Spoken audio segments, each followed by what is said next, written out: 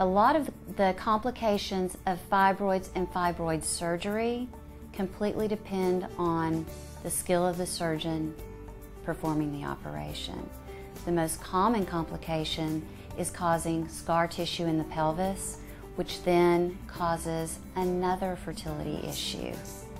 So that's probably number one.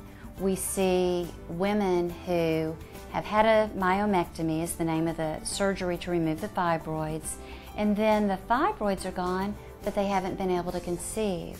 When we do follow-up evaluations, we find significant scar tissue or damage to the uterus or damage to the fallopian tubes that were a direct result of the surgery.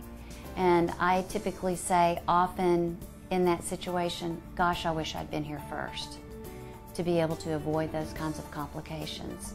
Many women who have had a myomectomy, particularly an extensive one that involved a large um, part of the uterus, will require cesarean section for delivery.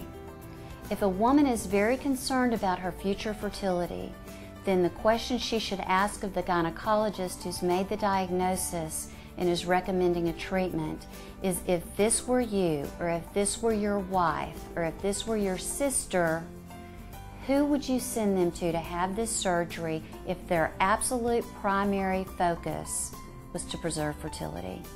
And I think most gynecologists in that setting would say you should see a specialist, someone who does this three, four, five times a month instead of once or twice a year.